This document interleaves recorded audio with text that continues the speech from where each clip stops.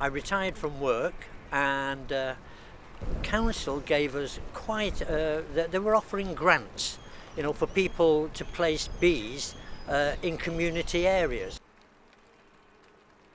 The bees in winter in, in, in the wild will have already settled down in some form of um, in, in some form of unit somewhere where it's uh, away from the the environmental winds and cold weather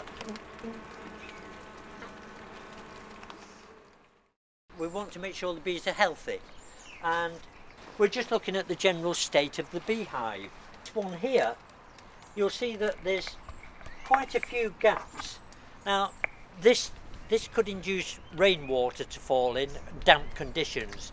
However, if they're not sealed, the bees themselves will do a lot of work in sealing it.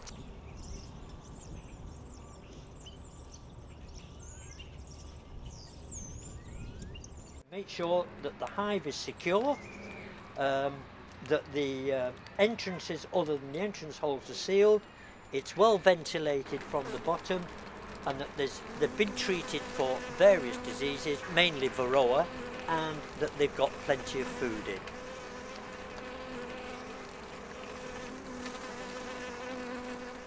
They may be as good or, or they may be as bad. We, we don't really know, but what we do know is that if we look after them, the bees survive reasonably well.